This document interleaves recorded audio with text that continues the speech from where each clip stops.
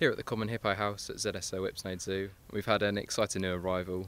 So yeah, it was quite a bit of a surprise. Um, we were doing a procedure with one of our other hippos, and one of my colleagues put round the corner to say that Lola, our common hippo, was just about to give birth.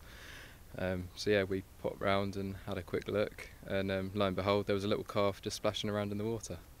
Calf's doing really well. Um, as soon as she was born, she she was up and about. She was up onto the dry land within about half an hour or so, and then about half an hour or so after that, she was looking like she was suckling.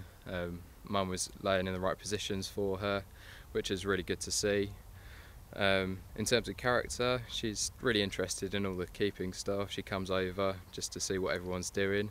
Um, again, Mum's really good. She she's looking after her. I think they're just getting used to um, their new environments, um, just stretching legs, learning how to swim a bit better.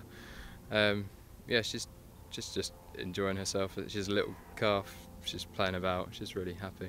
We'll leave her a few months to get more acquainted with like everything that's going on around her.